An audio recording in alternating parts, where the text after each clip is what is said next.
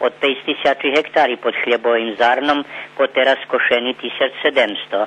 Na 100 od 700 hektari za družnej žemi prosekov urožaj 7,2 tony, a na privatných povrchnoscoch 5,5 tony, takže obštinský prosekový urožaj po teraz 5,6 tony, zo zvláhu od 12 po 14 od 100 a hektolitárska čežina od 72 po 81.